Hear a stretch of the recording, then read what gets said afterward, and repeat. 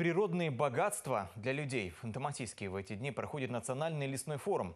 Сегодня в КТЦ «Югра Классик» собралось более 300 профессионалов лесной отрасли из 35 регионов страны.